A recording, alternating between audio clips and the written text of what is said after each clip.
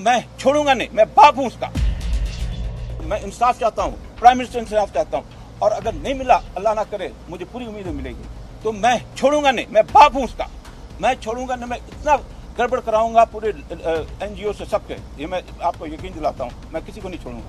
Late لا take place مجھے پورا یقین ہے کہ لا اس میں کرے گا اور گورنمنٹ ساتھ دے گی پولیس ساتھ دے گی۔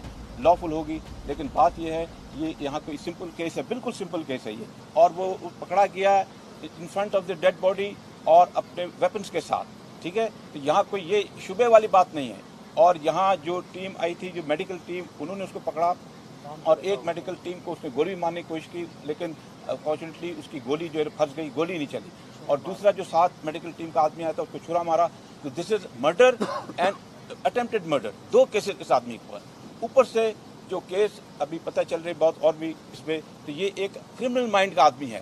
یہ کوئی وہ نہیں ہے، مجنون یا وہ پاگل نہیں ہے، کیونکہ ایس ایس پی صاحب نے پریس کانفرنس میں کہا، یہ کوئی پاگل نہیں ہے ہی واز ان سینسز تیسری بات، یہ ایک کنفرم بات ہے کہ اس کی ماں کی کلینک میں یہ ایک تھراپسٹ ہے رجسٹرڈ تھراپسٹ اگر یہ پاگل آدمی ہے تو کوئی رجسٹرڈ تھراپسٹ نہیں ہو سکتا ہے ٹھیک ہے؟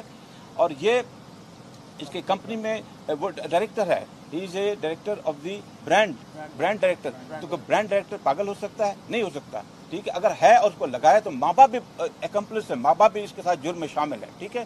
تو میں خیر لیگل ٹیم بات کرے گی تو ہم اس کی ہوپ کرتے ہیں اور ہم نہیں، ساری دنیا ہوپ کرتی اور یقین جا رہے ہیں میری بیٹی جو ہے، میں باپ ہوں لیکن بات یہ انوسنٹ بچی تھی. انوسنٹ یہ انسان کیا، یہ جانور سے بھی محبت کرتی تھی. ٹھیک ہے؟ تو اتنی انوسنٹ اور بیچاری پیاری بچی تھی اپنے اس میں اتنے پرائڈ آف دا لائف میں جب ہم چار اس کی خوشیاں دیکھے تو یہ اس کے ساتھ ہو گیا ہے۔ اتنا جرم ہو گیا، پورے پاکستان ہل گئی ہے، پورے باہر کے ملک، ہماری دنیا اس کے جو ہے اتنے میسیجز آ رہے ہیں اور ایک ہی کہانی بول رہے ہیں۔ ہم کل سے ساری فیملی رو رہی ہے، ہمیں سمجھ نہیں آ رہا۔ تو یہ میری نہیں، آپ سب کی ماں بہنیں ہیں، بیٹیاں ہیں۔ میں یقین جانے، میں امبیسڈر رہا ہوں، میں اتنی خدمت کی پاکستان قوم کی، ٹھیک ہے؟ اور میں انصاف چاہتا ہوں۔